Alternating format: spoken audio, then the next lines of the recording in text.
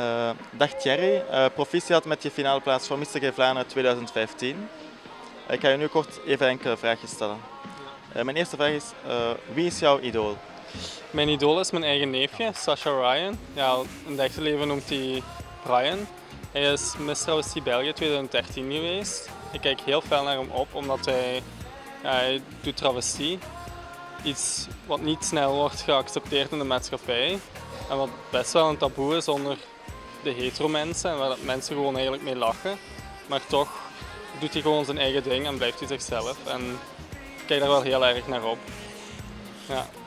Uh, geloof je in liefde op het eerste gezicht? Ik geloof in liefde op het eerste gezicht, want ik heb zelf al een paar keer meegemaakt dat ik twijfel over bepaalde mensen. En dat is dan niet liefde op het eerste gezicht, maar dan lukken die relaties op een of andere manier niet. En met liefde op het eerste gezicht, ja, lukken die blijkbaar wel.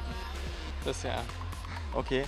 Uh, is er een voorwerp dat je nooit of nooit zou kunnen missen en dus nooit zal willen wegdoen?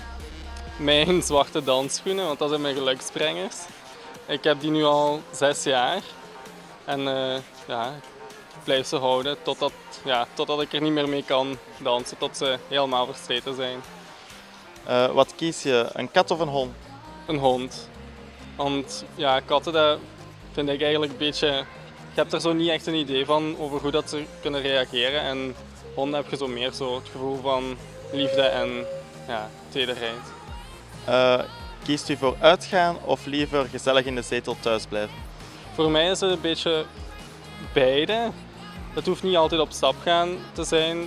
Mag ook, ook af en toe wel eens een keer gewoon thuis in de zetel film kijken. Dus het is, als het een gezond evenwicht is, is het voor mij allemaal prima. Oké, bedankt Thierry voor dit interview.